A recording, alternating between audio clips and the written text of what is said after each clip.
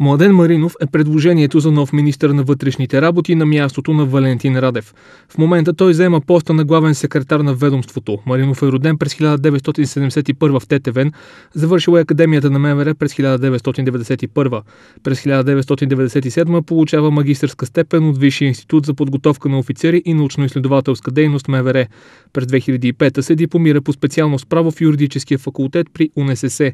На работа е в МВР от 1991. През 1997 е назначен на офицерска длъжност в отдел охранителна полиция при столична дирекция на вътрешните работи, а от юни 2013 взема длъжността заместник директор на СДВР. С указ на президента на България Румен Радев от 9 май 2017 е назначен за главен секретар на Министерството на вътрешните работи. Александър Манолев е номинация за министър на транспорта. В момента е заместник министър на економиката. Започва професионалната си кариера в Националното сдружение на общините на Република България, където отговаря за подготовката на проекти за европейско финансиране. Работил е в областта на маркетинга и е вземал позиции на средно и висше управленско ниво в редица компании.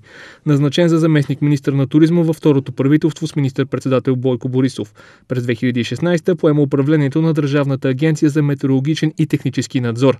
От 9 май 2017 е заместник министър на економиката. Петя Аврамова е народен представител от ГЕРБ. Тя ще поеме Министерството на регионалното развитие и благоустройството, ако номинацията й бъде гласувана. В кариерата си е била заместник кмет на Враца.